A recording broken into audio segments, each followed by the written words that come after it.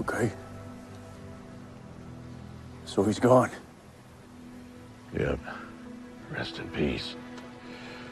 If that's in the cards. Dumb son of a bitch. Wait.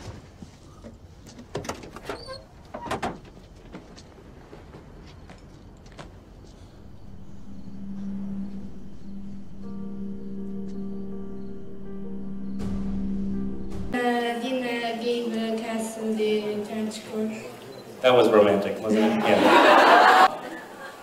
I think it may have been the gayest moment in the show uh, to date.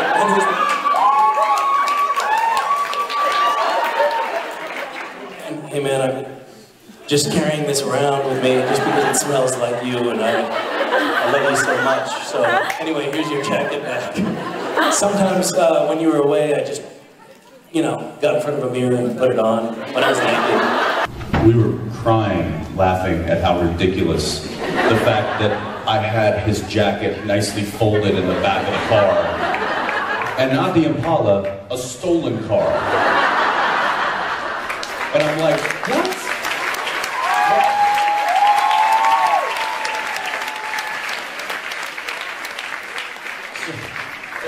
There was, no reason for that jacket to be in the back, in the trunk of that car. Just no reason. But it was just one of those things where it's, it's a crucial part of the story that needs to happen. Misha said he, he uh, don't like to know uh, what Dean had done with the trench coat. like uh, wearing uh, the trench coat while he's naked. And, Yeah, I don't want to know what Dean did with that trench coat. You know, it's and, and why it was just folded so I don't know.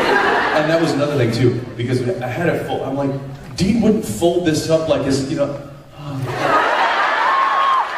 Like he- It's coat. It's it's damn coat. I get the, the, the you know the the, sim, the symbol of it, what it represents, and it's it's, it's Cas's coat and this and that.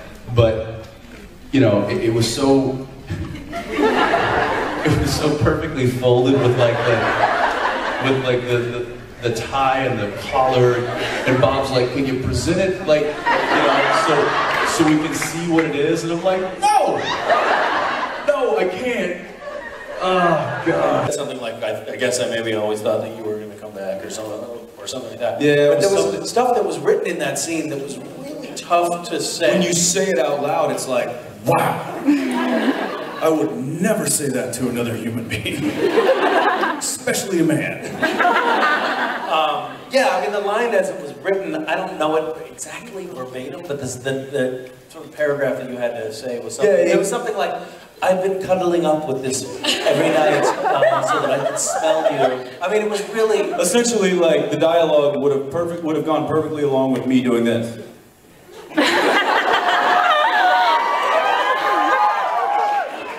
And, and Bob Singer, who was directing the episode, was like, it- we had him in tears when we simply just said, Bob, allow us to read this scene aloud to you.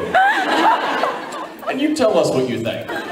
And we simply just read the lines, and he just folded and started laughing hysterically. And, and then we proceeded to spend like the next hour and a half trying to That was figure out. tough to make that scene. Yeah, we really, yeah, the three of us tried to put our minds together on set, trying to, how, how can we change this around to make it, to make it more believable between these two characters? And um, I don't even remember what it ended up being when two men are standing opposite each other saying, I guess I just really hoped you would come back someday.